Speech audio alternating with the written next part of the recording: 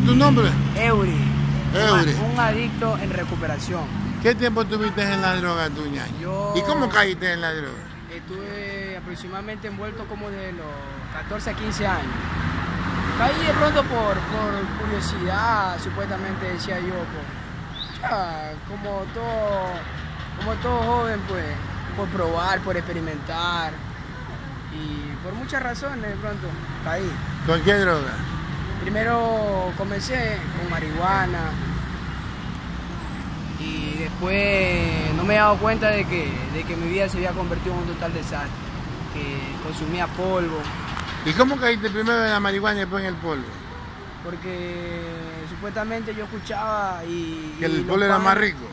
Los panas decían, no, que fumo marihuana nomás, que la marihuana no hace daño, que la marihuana no te quita nada.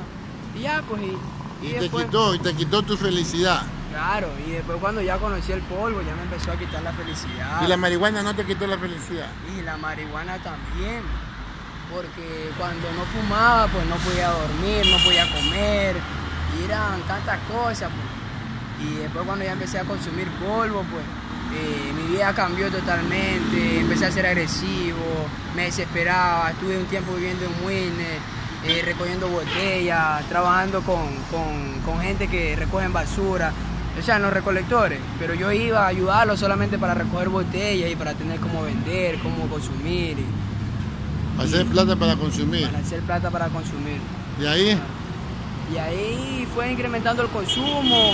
O sea, fue algo totalmente grande porque algo que no entendía yo totalmente hasta cuando llegué a un centro de rehabilitación. Yo ¿y cómo te llevaron? ¿A la buena o a la brava? eh, primero me, la, la, la plena que mi, mi- mi vieja me dijo, eh, te voy a llevar a clínica.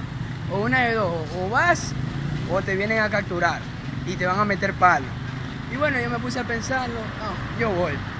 Para que me estén pegando, mejor voy.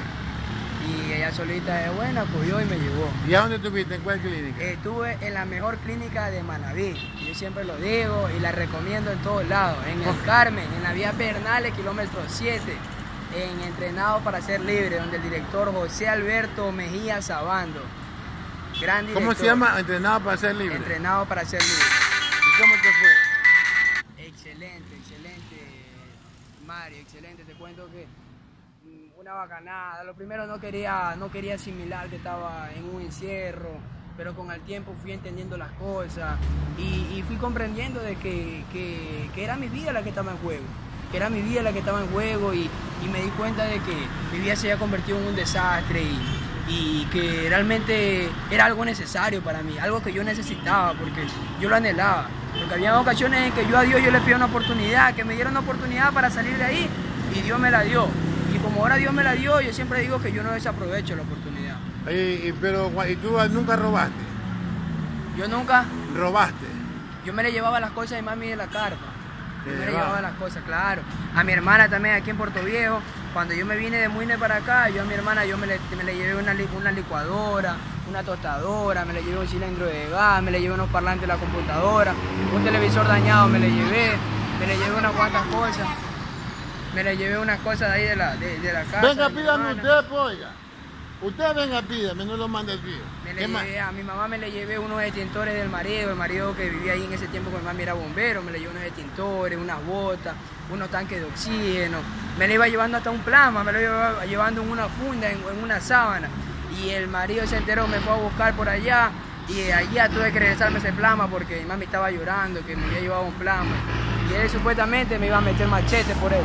Es más, Me metí en grandes problemas, claro. Por la droga. problemas. Claro, y no me he dado cuenta que era por la droga, me metí en grandes problemas. ¿Y ahora? En serio. Y ahora créeme que me siento diferente. ¿hace qué tiempo saliste de Gracias la a clínica? El 21, 22 de abril cumplo dos años en rehabilitación. ¿Y cómo te 22 de sientes? Totalmente diferente, limpio, tranquilo, sereno, sin preocupaciones. Alguna gente dice que la marihuana no es droga, dice.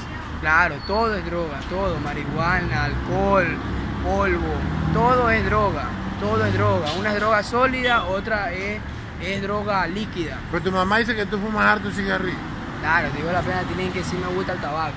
Yo fumo tabaco, pero, Pero bastante. pero no, no, no digamos que mucho, sino que lo que pasa es que a veces me fumo en el día unos dos, a veces en el día unos tres. ¿Tres cajetillas o tres cigarrillos? No, tres, tres cigarrillos. Y en la noche ya es que le meto un poquito más y me fumo unos cinco, así. O sea, no sé, como que el tabaco también como que me empezó a gustar, pero ya también cualquier rato como que lo corto de raíz. ¿Y cómo vas a hacerlo? Tendré que rayarme los huevos, Tilín. Porque te digo la pena que ya lo he intentado, pero a veces como que también como que un tabaco desespera a uno también.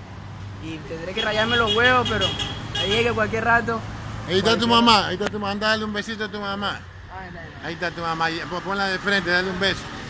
A ver, ahí está él, vea, con la mamá que tanto sufrió. Ahí está ella. Así tiene que portarse con sus, con sus madres. Vea a esa señora, la cara contenta, su hijo también contento, de que, de que tenga otra, otra vida, ¿no, señora? Sí, Contenta. sí. Ve esa cara de alegría. eh. Gracias a Dios. ¿Ah? Gracias a Dios. Por la, por la felicidad que le ha dado de ver a su hijo Por ese transformado. cambio. Por ese cambio. Arrepiéntete, pecador. Mira, ve. Así, la, así tiene que tener a tu madre no sufriendo. ¿Sí o no? Ahí dale otro besito a su hijo. Gracias. Bueno, gracias. eh.